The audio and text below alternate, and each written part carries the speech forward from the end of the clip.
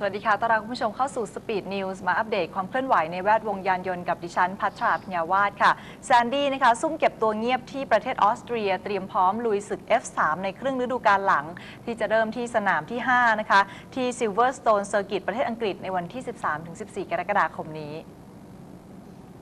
หลังจบครึ่งฤดูกาลแรกของการแข่งขัน European F3 Open 2013 ในสนามที่ 4 โดยรั้งตำแหน่งผู้นำจ่าฝูงด้วยคะแนนรวม 127 คะแนน ล่าสุดนี้แซนดี้เคราแก้วสตูวิค นักแข่งรถตัวแทนประเทศไทยวัย 18 ปี ก็ได้เข้าเก็บตัวฝึกซ้อมกับเทรนเนอร์ส่วนตัวเฮลมุต ฟิงค์นะคะ ผู้ที่เคยฝึกบรรดานักขับ F1 หลาย ๆ คนมาแล้ว กับโปรแกรมเก็บตัว 6 วันที่ซิลเฟตนะคะ ซึ่งภูมิประเทศส่วนใหญ่นั้นเป็นภูเขาอยู่ในประเทศออสเตรียแซนดี้ต้องเข้าโปรแกรมทั้งวิ่ง ปั่นจักรยาน เดินเขาและปีนเขา เพื่อพัฒนาความแข็งแกร่งของร่างกาย หัวใจกำลังแขนและขา รวมไปถึงการรวบรวมสมาธิและการควบคุมสภาวะจิตใจ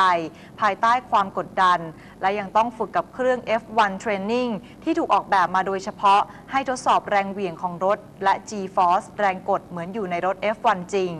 ซึ่งแซนดี้ก็เปิดเผยนะคะว่า ตอนนี้ร่างกายและสภาพจิตใจมีความพร้อมมาก และมั่นใจว่าจะทำผลงานได้ยอดเยี่ยมตลอดทั้งครึ่งฤดูกาลหลัง ถึงแม้ว่ามันจะเป็นการแข่งขันที่ยากและดุเดือด แต่ก็จะพยายามรักษาอันดับผู้นำจ่าฝูงอย่างสุดความสามารถ เพื่อนำความภาคภูมิใจมาสู่ประเทศไทย และตัวเองในฐานะแชมเปี้ยนสำหรับสนามถัดไปในสนามที่ 5 นั้นจะจัดขึ้นในวันที่ 13-14 กรกฎาคมนี้ที่ Silverstone Circuit ประเทศอังกฤษค่ะ